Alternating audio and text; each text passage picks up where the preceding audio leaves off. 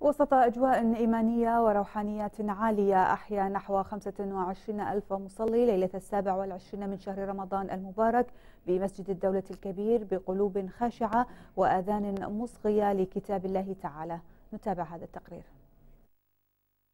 حضورا كبيرا من جموع المتهجدين في ليلة السابع والعشرين من شهر رمضان. فاق عددهم عشرين ألفا مصل في مسجد الدولة الكبير إحياء لتلك الليلة المباركة والتماسا لليلة القدر. هي كل الأيام مباركة إن شاء الله. آه، لكن يعني من من أحاديث الرسول صلى الله عليه وسلم أن الأيام الأيام ليلة ليلة القدر تكون بالأيام الفردية. فنحاول كثر ما نقدر أن نسعى بهالأيام هذه ونزيد من من أجرنا إن شاء الله. حبيت إني أنا أجيب الأولاد معي في هذا اليوم على أساس إني أنا أوريهم شنو فضل ليلة القدر عند المسلمين. بالجمع الكبير هذا لأن صراحة آه، الجمع هذا ما راح يشوفونه في أي مسجد بالكويت.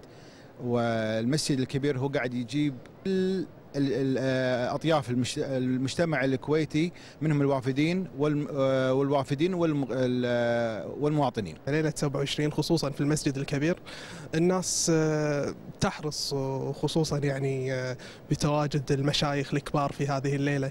اللي هو فهد الكندري والشيخ مشاري العفاسي وأيضا الداعية الكبير اللي هو الشيخ أحمد القطان. في المسجد الكبير بيكون لها طعم ثاني وحيث تجمع المسلمين كلهم في نفس الوقت وألفة بين الناس ونتحرى آه، اللي الرسول قال لنا عليه فنتمنى إنها تكون ليلة القدر وربنا يبلغنا كلنا إياها إن شاء الله رب العالمين.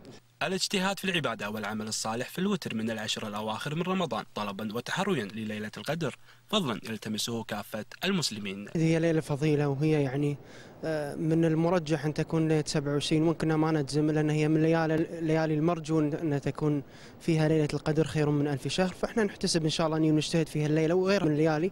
أسأل الله سبحانه وتعالى يتقبلنا يا رب. ليلة القدر مذكورة بالقرآن يعني هي عن ألف شهر. يعني يعني انت ليلة القدر إذا حسبت لك إنك قايم 83 فوايد شيء زين يعني وإن شاء الله الله يرزقنا إياها كلنا. كل إنسان هو أمنيته إنه يحظى في ليلة القدر ويحسب الأجر عند رب العالمين. اللهم أبلغنا فضلها وقيامها. حسن بن غيام تلفزيون دولة الكويت.